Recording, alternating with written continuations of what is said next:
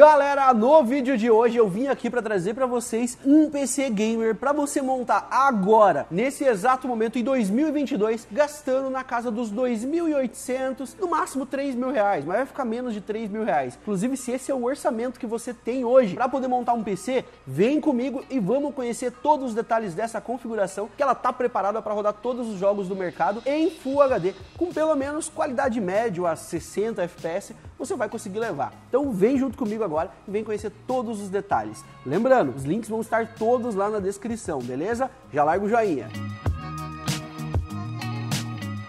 Para começar nessa nossa configuração aqui maravilhosa, eu vou utilizar um processador que voltou ao estoque e tem um ótimo custo-benefício. Já tem diversos vídeos dele aqui no canal. Talvez para alguns seja novidade, mas para muitos aí já é um processador que está bastante tempo no mercado. Estou falando do Ryzen 3 4100. É um processador que a AMD lançou não faz tanto tempo, mas ele é meio que novidade. Ele tem 4 núcleos e 8 threads no total. O seu clock é acima dos 4 GHz e ele fornece um bom desempenho para um setup de médio porte de entrada e talvez um setup de entrada. Então não é nada de outro nível, não é para você rodar Cyberpunk no Ultra, mas é um processador muito competente que entrega uma performance ali parelha com um processador Core i3, por exemplo, de 11ª geração, entre outros modelos que você pode encontrar no mercado. O preço dele está valendo bastante a pena. Para combinar com esse processador, a gente vai utilizar uma placa-mãe A520, que é uma placa-mãe com ótimo custo-benefício e a minha escolha pela plataforma AM4 nesse exato momento é porque ela sai num custo muito bom, muito barato e permite muitos upgrades. Então você começa agora com 4100 na placa-mãe A520 e você consegue evoluir o seu setup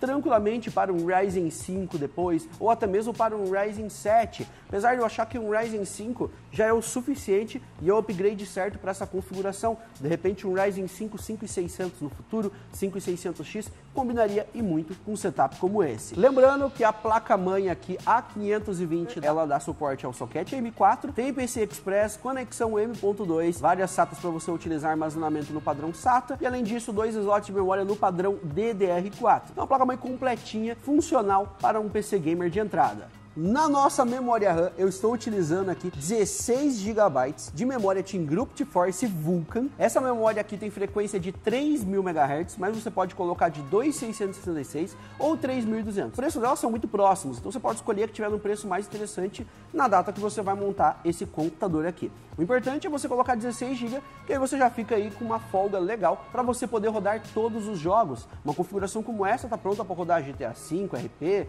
rodar até um Cyberpunk você você consegue rodar, ou um Call of Duty Warzone. Tem 16 GB, vai ter um desempenho legal aí no seu setup. Importante é focar nos 16, que já vai estar ótimo para essa configuração. Armazenamento eu vou utilizar aqui, ó, 128 GB de SSD. Eu vou utilizar o modelo GC128 da Mancer. Esse modelo de SSD aqui, ele é mais de entrada, então você pode ver que ele é no padrão SATA, mas ele já entrega velocidade acima dos 500 MB de leitura. Ele é 5 vezes mais rápido, pelo menos, do que um HD convencional. E eu vou colocar a capacidade de 128 para focar numa opção mais baratinha aqui para vocês. Mas a gente sabe que 128 GB hoje é pouco, mas existe essa opção se você quiser já tiver suficiente para você. Agora, se você quer colocar um Warzone, um Cyberpunk, jogos mais pesados, vai de 256 ou 512. 512 seria o ideal, tá? mas não é obrigatório por 512. De repente, você já tem um HD em casa, você vai colocar o SSD só para o sistema, então fica a seu critério, tá? Um SSD de 128 eu recomendo pelo menos para você colocar o Windows. Aí depois, se você quiser colocar outros jogos, você vê se vai caber nele, senão você pegaria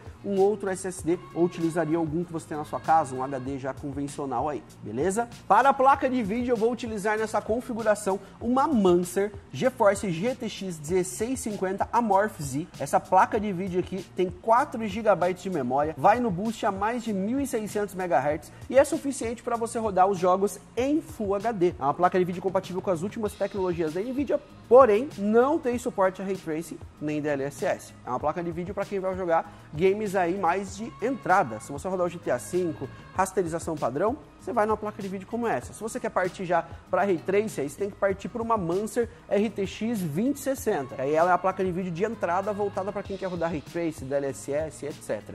Mas para quem não procura de repente, vou dar um exemplo. Você quer rodar só CS, pô, uma placa de vídeo dessa aqui é suficiente. Não tem essas tecnologias, então você pode utilizar tranquilamente. Você quer rodar GTA 5 RP, GTA não tem nem Ray Tracing nem DLSS. Se esse é o teu foco, uma placa de vídeo dessa aqui já dá conta também. Ah, eu sou um jogador de Euro Truck Simulator ou ATS, por exemplo. Pode comprar uma placa de vídeo dessa aqui que vai casar muito legal também. Ou seja, a grande maioria dos jogos não são compatíveis com essas tecnologias ainda. É claro que a tendência é ter cada vez mais jogos compatíveis. Se você acha necessário para o seu setup colocar uma placa de vídeo com essas tecnologias, você pode colocar tranquilamente. Mas saiba que você não vai conseguir encaixar dentro desse orçamento de R$ 2.800. A fonte de alimentação, eu vou utilizar aqui um famoso custo-benefício da Pichal. Vou utilizar a fonte Nidos de 500 watts da Pichal, que é uma fonte com certificação 80 Plus bronze, PFC ativo, certificada pela 80 Plus e também pela Cybernetics. Ela tem testes inclusive na gringa, você pode encontrar lá no Tech Power Up, no Guru 3D, você pode encontrar review dessa fonte aqui, os caras abriram, fizeram todos os testes. Ronaldo também tentou explodir aqui no Brasil, já fez teste nessa fonte, viu que é uma fonte, é uma fonte fonte de extrema qualidade, realmente feita com componentes de primeira, justamente para te dar confiabilidade em uma fonte de 500 watts com um preço justo para dentro do mercado brasileiro. Gabinete, eu recomendo você colocar nessa configuração aqui um modelo Mid Tower,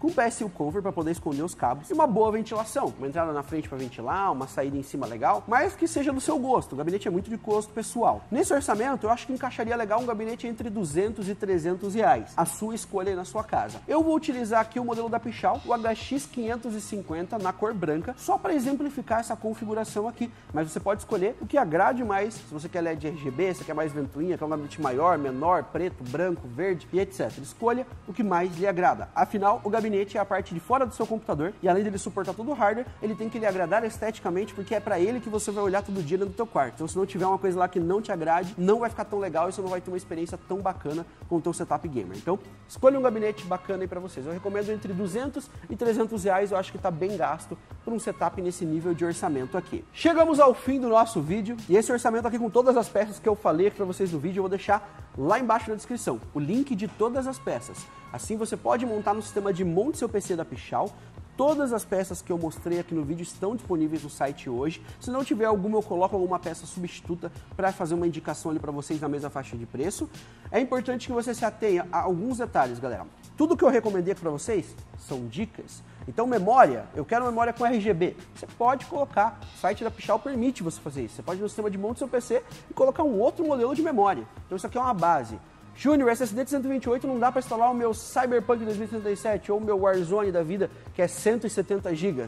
Não tem problema. Para muitas pessoas, esse aqui pode ser o suficiente de 128 que é só instalar o sistema operacional. Se não for o seu caso, você pode adicionar um de 512, pode adicionar um de 1 tera. Então a configuração é toda customizada, além de ser um setup que permite diversos upgrades nele tranquilamente. Dá para você upar memória, a fonte suporta segurar aí até uma RX 6600 XT, uma 3060, 3060 Ti sem nenhum problema. A placa mãe aqui suporta processadores como o Ryzen 5 5600, que é um processador de alto nível já, permite você colocar esse SDM2 NVMe ou manter no SATA gabinete você pode upar à vontade também. Ou seja, tudo que você pode modificar, beleza?